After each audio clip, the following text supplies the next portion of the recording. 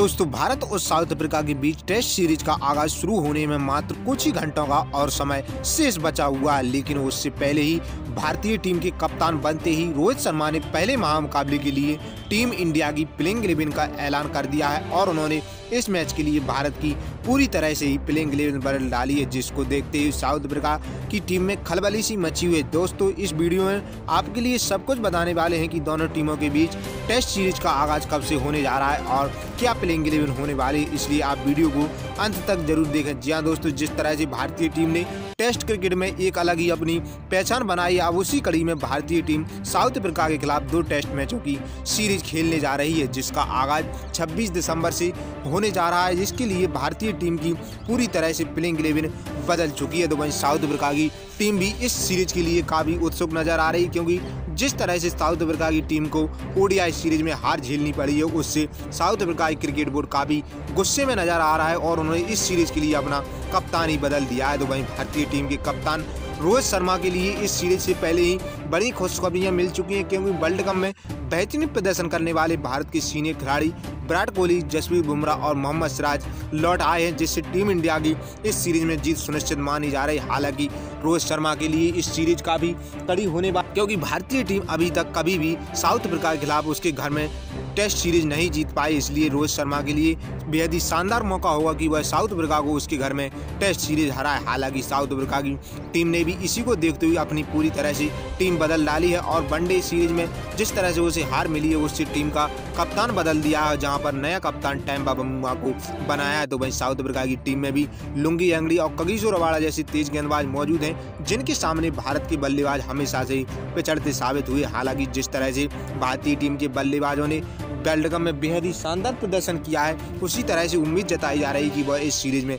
अपना वही प्रदर्शन जारी रखेंगे, क्योंकि जिस तरह से विराट कोहली ने टेस्ट क्रिकेट में अपनी एक अलग ही पहचान बनाई है उनसे इस सीरीज़ में सबसे ज़्यादा उम्मीद जताई जा रही है, क्योंकि पिछले दौरे पर भारतीय टीम को टेस्ट सीरीज़ में करारी हाथ झेलनी पड़ी, लेकिन जिस तरह से हाल ही में भारतीय टीम के बल्लेबाजों तथा गेंदबाजों ने साउथ अफ्रीका को उसके घर में ही ओडीआई सीरीज़ बढ़ा हराई है। उससे टीम इंडिया के कप्तान रोहित शर्मा का काफ़ी मनोबल बढ़ा हुआ है। तो वहीं साउथ अफ्रीका की टीम के कप्तान टैम्बा बमुआ ने भी ऐलान कर दिया है कि हम हर हाल में यह सीरीज़ हराकर भारतीय टीम से ओडीआई सीरीज़ में मिली हार का बदला लेना चाहेंगे। तो वहीं टीम इंडिया के कप्तान ने इस प्लेइंग इलेवन के साथ मैदान पर उतरने का फैसला किया है, जहाँ पर टीम इंडिया के ओपनर बल्लेबाजों की बात की जाए तो भारतीय टीम के कप्तान रोहित शर्मा और दाएँ हाथ की युवा बल्लेबाज यशस्वी जयसवाल करते हुए दिखाई देने वाले क्योंकि जिस तरह से इन दोनों खिलाड़ियों ने अभी तक भारत के लिए टेस्ट क्रिकेट में ज़बरदस्त प्रदर्शन किया, इसलिए उनसे इस सीरीज़ में और भी अच्छे प्रदर्शन की उम्मीद जताई जा रही है, जहाँ पर टीम इंडिया के कप्तान रोहित शर्मा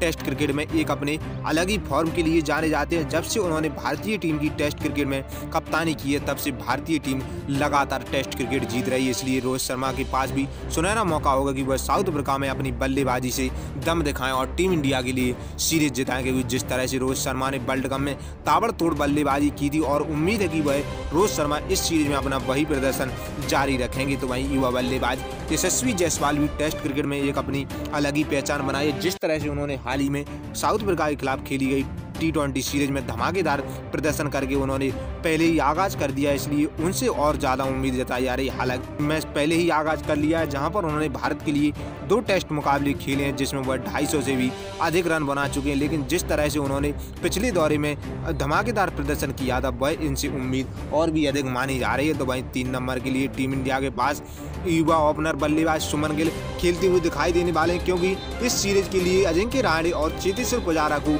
आराम दिया गया है, इसलिए सुमन गिल नंबर पर सबसे बड़े दावेदार माने जा रहे हैं। हालाँकि सुमन गिल ओपनिंग भी कर सकते हैं, लेकिन बल्लेबाजों की कमी होने के कारण उनको तीन नंबर पर खिलाया जाएगा, क्योंकि जिस तरह से उन्होंने टेस्ट क्रिकेट में अभी तक अपनी छाप छोड़ी है, उनसे उम्मीद है कि वह इस सीरीज़ में और भी अच्छा प्रदर्शन करेंगे और टीम इंडिया के लिए जीत दिलाएँगे। तो वहीं चार नंबर के लिए टीम के पास भारतीय टीम के पूर्व कप्तान विराट कोहली खेलते हुए दिखाई देने वाले क्योंकि विराट कोहली का टेस्ट क्रिकेट में कोई जवाबी नहीं है। जिस तरह से वह टेस्ट क्रिकेट में लगातार शतक और अर्धशतक ठोक रहे हैं। उनसे उम्मीद है कि वह साउथ अफ्रीका के खिलाफ भी और भी अच्छा प्रदर्शन करेंगे, जहाँ पर विराट कोहली ने अभी तक भारत के लिए 101 टेस्ट मुकाबले खेले हैं, जिसमें वह साढ़े आठ हज़ार से रन ज़्यादा बना चुके हैं। तो बचवे नंबर के लिए टीम इंडिया के पास श्रेयस अय्यर जैसे धाकड़ बल्लेबाज मौजूद हैं। क्योंकि श्रेयस अय्यर वनडे और टी ट्वेंटी क्रिकेट में अपना नाम रोशन करने के बाद अब उन्होंने टेस्ट क्रिकेट में भी एक अपनी अलग पहचान बनाई है और उन्होंने भारत के लिए अभी तक ज़्यादा कुछ टेस्ट मुकाबले नहीं खेले हैं, लेकिन जिस तरह से उन्होंने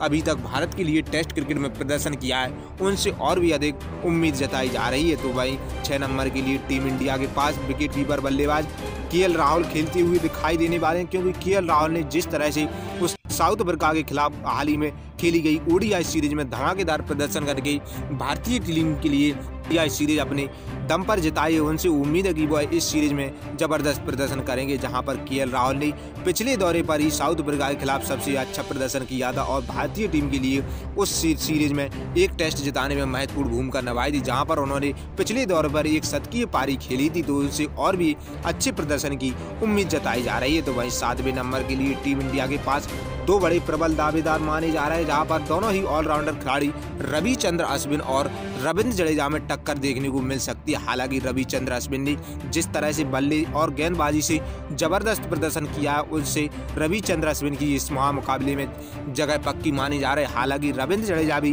प्रबल दावेदार माने जा रहे हैं, लेकिन जिस तरह से रविचंद्र अश्विन ने अभी तक भारत के लिए चौरानवे टेस्ट महामुकाबले खेलकर चार सौ नवासी विकेट अपने नाम किए इसलिए वह प्रमुख स्पिनर के रूप में भारतीय टीम में खेलते हुए दिखाई देने वाले हैं। तो वहीं आठवें नंबर के लिए टीम इंडिया के पास एक और ऑलराउंडर खिलाड़ी शार्दुल ठाकुर की जगह पक्की मानी जा रही, क्योंकि जिस तरह से शार्दुल ठाकुर ने पिछले दौरे पर साउथ अफ्रीका के खिलाफ अपने बल्ले से दम दिखाया था, इसलिए उनसे इस दौरे पर और भी अच्छे प्रदर्शन की उम्मीद जताई जा रही है, जहाँ पर शार्दुल ठाकुर ने पिछले दौरे पर गेंदबाजी भी ज़बरदस्त की थी तो वहीं बल्लेबाजी से उन्होंने लगातार दो अर्धशतक भी लगाए थे तो वहीं नौवे नंबर के लिए टीम इंडिया के पास की टीम के पास एक और तेज गेंदबाज जसप्रीत बुमराह इस महामुकाबले में खेलते हुए दिखाई देने वाले वाले हैं क्योंकि जसप्रीत बुमराह अपनी यॉर्कर गेंदबाजी के लिए जाने जाते हैं और जिस तरह से उन्होंने भारत के लिए टेस्ट क्रिकेट में अपनी ज़बरदस्त फॉर्म दिखाई है, उनसे विदेशी सरजमी पर और भी अच्छे प्रदर्शन की उम्मीद जताई जा रही है। अभी तक भारत के लिए जसप्रीत बुमराह ने 28 टेस्ट मुकाबले खेले हैं, जिसमें वह बेहतरीन इकॉनमी के साथ 101 विकेट अपने नाम कर चुके हैं। तो भाई दसवें नंबर के लिए टीम इंडिया के पास मोहम्मद सिराज जैसे धाकड़ तेज गेंदबाज मौजूद है। क्योंकि मोहम्मद सिराज वनडे तथा टी क्रिकेट में ज़्यादा कुछ खास प्रदर्शन नहीं कर सके, लेकिन जिस तरह से उन्होंने टेस्ट क्रिकेट में अपनी गेंदबाजी से कहर ढाया हुआ है, उससे उम्मीद है कि वह इस समय और भी अच्छा प्रदर्शन करेंगे। जहाँ पर वह टेस्ट क्रिकेट में अभी भारत की तरफ़ से सबसे ज़्यादा 2023 में विकेट लेने वाले गेंदबाज भी हैं तो वहीं आखिरी नंबर के लिए टीम इंडिया के पास एक और तेज गेंदबाज मुकेश कुमार खेलते हुए दिखाई देने वाले हैं, क्योंकि मुकेश कुमार ने हाल ही में टी ट्वेंटी तथा ओडीआई सीरीज़ में ज़बरदस्त प्रदर्शन किया था। इसके अलावा मुकेश कुमार को भी आराम दिया जा सकता है। तो वहीं प्रसिद्ध कृष्णा भी टेस्ट क्रिकेट में अपनी दावेदारी पर बल रखते हैं। तो वहीं भारतीय टीम की कप्तान रोहित शर्मा इसी प्लेइंग इलेवन के साथ पहला टेस्ट महामुकाबला जीतने के लिए मैदान पर उतरने वाले हैं। आपके अकॉर्डिंग इसमें क्या बदलाव किए जाने चाहिए, आप हमारे लिए कमेंट करके ज़रूरी बता सकते हैं।